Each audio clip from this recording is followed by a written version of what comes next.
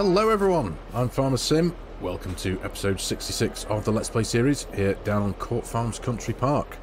Hope you're all doing very well and having a lovely day. So, where are we now? We are now in the month of December. I have completely fast forwarded November. Um, not that I missed out on anything, obviously I had to spend each of the three work days uh, sorting out all the manure, the slurry, all the production systems if they needed any looking at, getting a bit of wool over to the wool mill, selling a load of the wool because the wool mill just can't keep up with the uh, the rate of production from the sheep. Uh, so, yeah, and I have uh, finished off all the field rolling and I have topped up every single field with lime and fertilizer if it needed it. So we are now in a position where everything is ready to rock and roll kind of thing. The fields are in excellent condition. Apart from, as you can see here, we have a couple of fields with some big weeds in. Now these are ready to go with a bit of herbicide. Bring up the menus here. As you can see, yeah, we need to get our herbicide on, which is uh, what I've been looking to do, as I think I mentioned in the last episode, or it might have been the episode before. And as you can see, looking at the bank balance, we have a particularly healthy £615,000, so that's brilliant. Uh, we're not going to have that for long, because I do have a couple of things in mind that I'm going to spend a bit of cash on.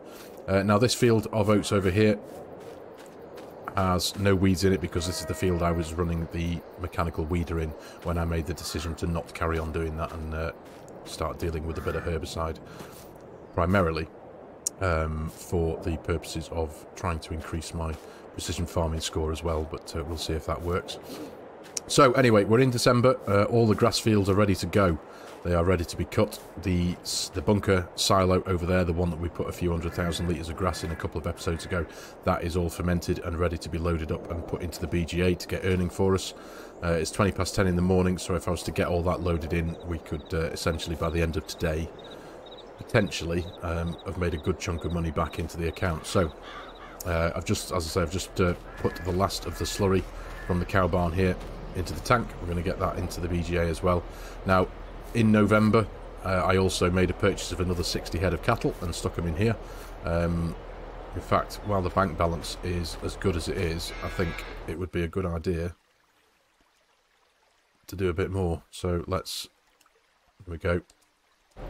So I think that will take our total there to 170 cows. There we go, that's excellent.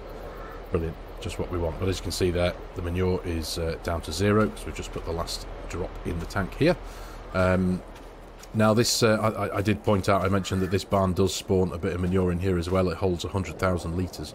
Uh, I hadn't actually, you know, put two and two together and appreciated that. So the manure bunker that I placed outside, I haven't been able to make any use of yet because I've just been taking it out of here for now.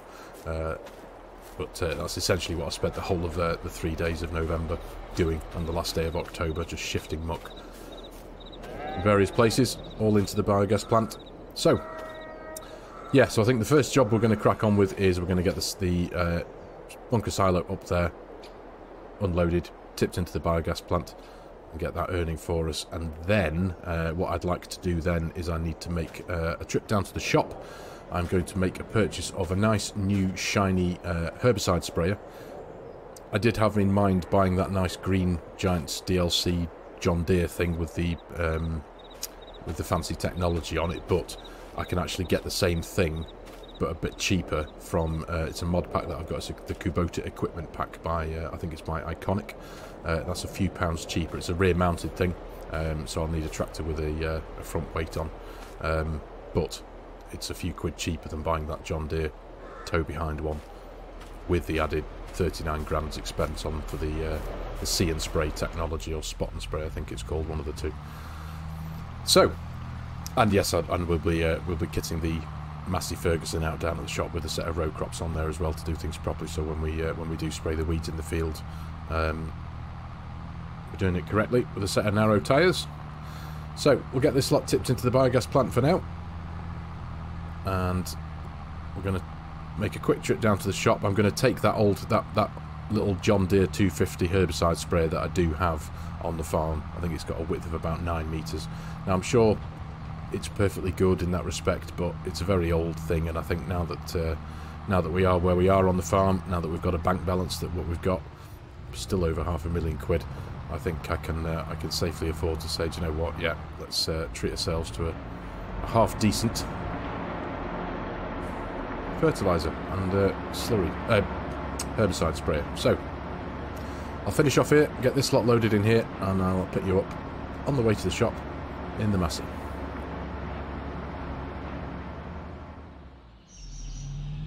Right, down at the shop. Let's uh, get straight onto the workshop ramp in here, and I think we should be able to do most of the things we need to do on here. There we go. Bump into the wall. Big drop down. So, first and foremost, we need to get rid of this thing. 4,183 quid. Goodness me, I thought that was, uh, thought that'd be a lot less valuable, but still, yep, sell that. There we go. Massey Ferguson. Customize. So into the wheels now. Can I get narrows in BKTs? No, I can't. So there we go. Continentals. Are they the narrowest ones? They still look quite wide. There we go. I think, yeah, it was the Trelleborgs that I think had the narrowest ones in my mind for realism purposes. I feel that's the correct thing to do. So for a thousand pounds, there we go. Boom. Excellent stuff. Configuration has been changed. We will need to uh, fit that back on as well. Jump in. There we go. Lift that back up. Let's pull a bit away from the wall there. Excellent stuff. There we go. Wheels are considerably cleaner than the rest of the tractor, aren't they? So, and uh, on top of that, we now need to make the purchase of the new sprayer. So, Jumping back into the tools menu, into the sprayers. Now, the one I've got in mind is dum dum dum. This one here, for the Kubota equipment pack by Iconic. So this is quite customizable. Um, 18, 24, and 28 meters. Now, I think personally, I think 18 meters is going to be about right. I don't need to add the extra expense on the width because obviously we're on Court Farms. The fields aren't gigantic, so 18 meters wide, I think, would be more than enough for our usage of it. Uh, we will, what do we reckon, new or old? I will stick with the new ones. Um, but I am going to add a bit of capacity to the tank on this thing, so it'll give us a 7,500 litre capacity. And yes, weed spot spraying, that's exactly what we want. So £68,350. That'll do for me. Now, as I said, this one is considerably cheaper than the John Deere variant, the big toe behind one, because that was including the weed spot spraying and uh, and whatnot, that was just shy of a hundred thousand pounds. So getting the same technology and the same thing essentially for considerably less is uh, a sensible thing to do. So we'll keep it all as the Kubota Orange, I think, for now. Why not? So let's get that purchased. Thank you very much. There we go.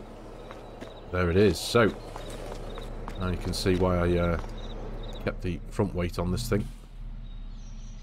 Careful backing out of here. There we go.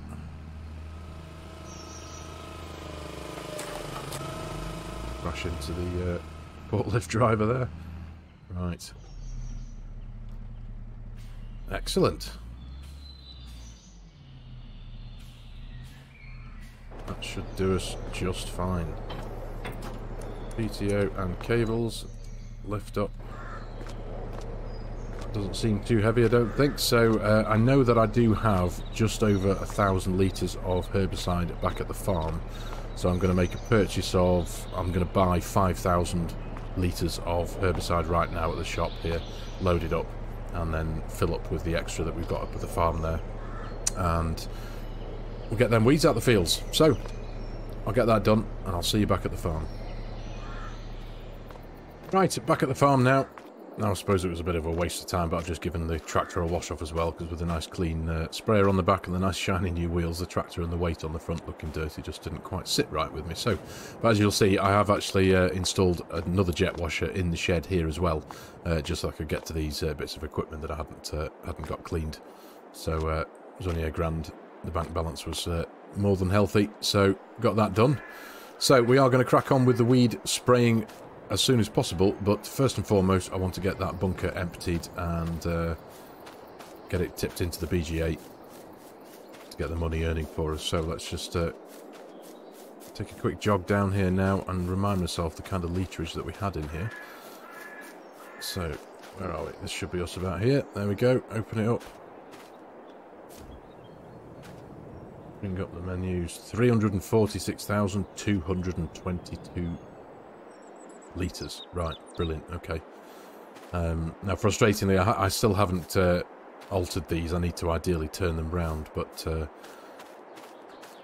the first thing I need to do is try and get rid of the whole blanket, don't I? Because I want to be unloading from this end here, not from the other end.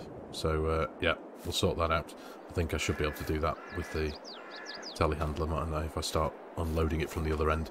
But uh, but what I think I'm going to do, I'm going to pop the whole uh, loading and unloading of the bunker and putting into the biogas plant with the tractor and trailer into a, a little time lapse perhaps. So I'm going to get everything loaded up, get everything sorted, brought round here, crack on with a time lapse and get it all loaded in.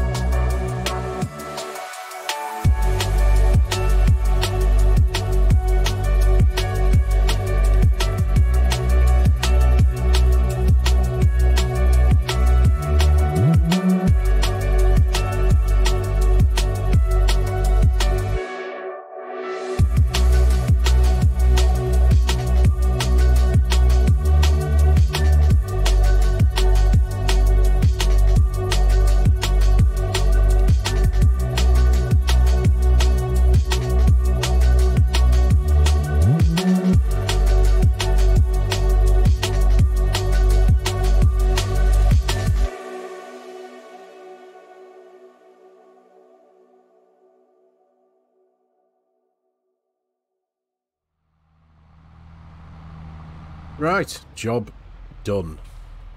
Let's turn that off for a second or two. So, yeah, jumping into the uh, production systems menu very quickly. As you can see now, we have 341,043 litres of silage ticking away nicely in the BGA.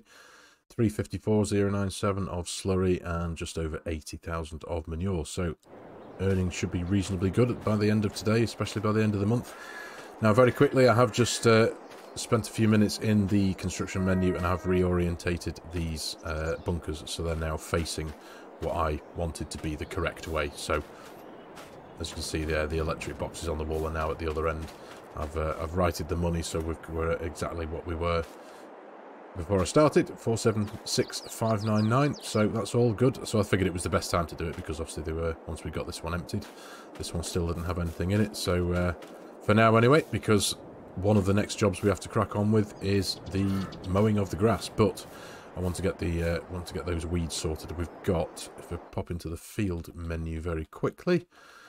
I want to say two or three fields.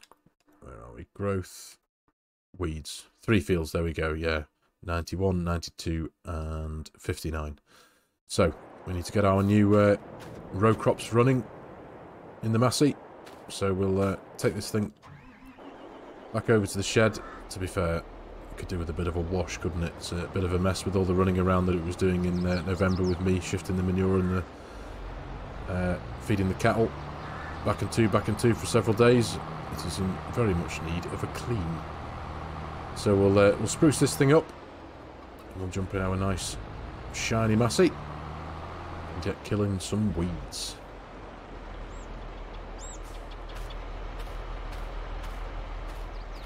There we go. That's much better, isn't it? It was yellow under all that dirt. so, one thing I forgot to mention earlier at the beginning of the video, just uh, one of the things that I'd done off camera was I finally shifted all the literage of barley and rye that we had stashed away in the silo over here uh, over to the grain mill. So now we have our canola, which is uh, to be sold this month, linseed, which we need to get rid of in January, I believe, the sunflowers are to be sold in March and the soybeans in July. Uh, and the wheat, obviously, I'm keeping back for the chickens. Now, the chickens don't go through a huge amount. I probably could afford to sell maybe a trailer or two of the wheat and still be fine because they only take, what, I think it's about a thousand litres, a couple of thousand litres tops. Um, but we'll, uh, maybe I won't. I'll just, uh, I'll just keep the weeds, where, the, the wheat, sorry, where they are. So, Let's get this beauty into action, shall we? There we go. Turn all those lights off. Turn the engine off. Yeah, looking forward to this. So, I think we shall start with the field furthest away, which is field... Well, it's either 90... We'll, we'll go for 92. It's a bigger one, so we'll, uh, go for that one. I'm going to pop a bit of this work into a cinematic with the nice new uh, new row crops and herbicide sprayer. So, can't imagine it's going to take too long with it having even the shortest width that we could apply to this uh, herbicide sprayer at 18 metres. Certainly not going to take too long, but I shall uh, endeavour to pop it into a cinematic nonetheless. Now, let's get this gate open. And there we are. Now, I don't think the crops are long enough to have, because I do have uh, crop destruction turned on, but just wanting to do things correctly. That's why I got these row crops fitted. I'm kind of thinking, I can't remember whether, even with the tyres, even with the, the crops at their current length, with the tyres I previously had on the Massey with the big ones, I wasn't sure whether the crop destruction would activate anyway, but uh, as I say, for the sake of doing things correctly, it looks quite cool, don't you think? So, anyway, we'll pop this lot into a cinematic, get these uh, weeds eradicated and I shall see you very soon.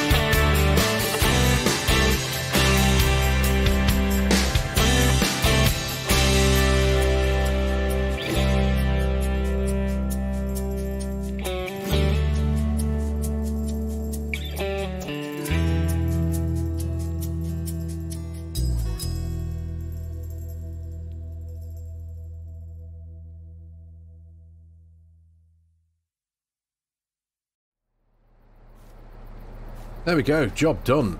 I am very happy with this purchase. I must admit, it's an absolute beauty of a machine. It has barely touched the total of herbicide that we have in the tank, probably thanks to the uh, see and spray technology, but we started with about 73 or 74% full. We're now down to 70, and that's all three fields done. So, weeds be gone and all that. Good job. So, And also, I have uh, increased my precision farming score in a couple of the fields. So this is the field we're currently in now. It's at 99.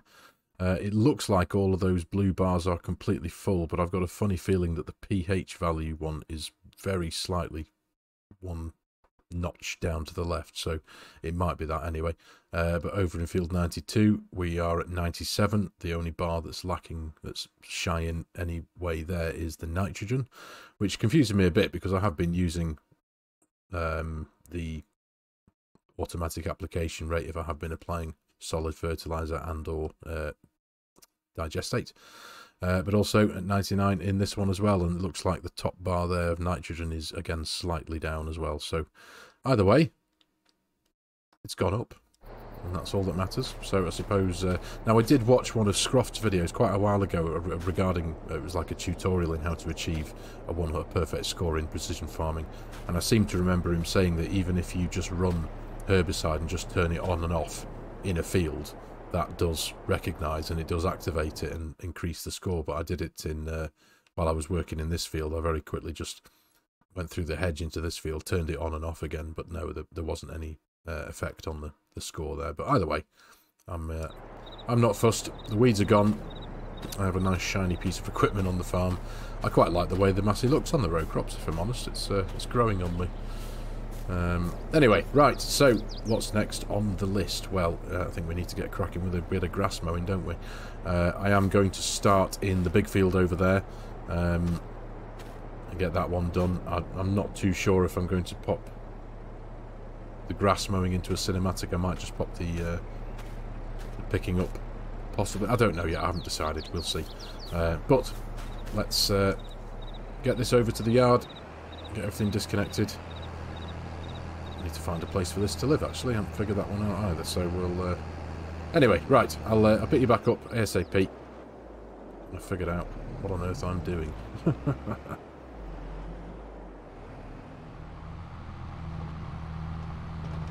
right, okay, now executive decision made. I am going to put the mowing of the grass into a uh, into a cinematic and I'll get it all picked up off camera and stuck into one of the bunkers. Now, I know it does look shorter than it should do, but uh, I, I, think it's probably something to do with like the winter textures on this map. But uh, this was ready to harvest back in November, and obviously we're now in December. It's in its second growth stage. Uh, it, I think it just looks, it appears a little bit shorter, potentially down to the winter textures. So uh, I'm pretty confident that it's ready to go. So we'll get it all mowed up I'm very keen to see the amount of the, the yield that we get from this field because it is a whopper. It's uh, I think it's probably the biggest field that I've mowed of grass so far in the game in this uh, we're almost at six years actually aren't we? Year five in December so uh, January time it'll be year six. It's quite an achievement for me anyway. Right okay so let's get mowing. I'll catch you after